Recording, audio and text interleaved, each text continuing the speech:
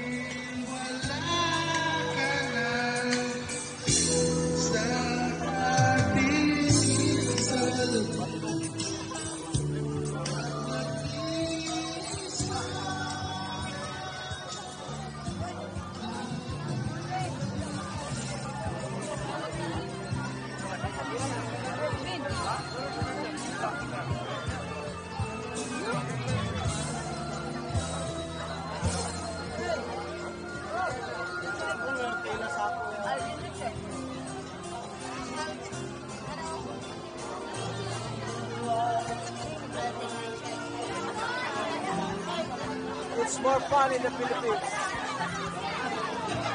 Good.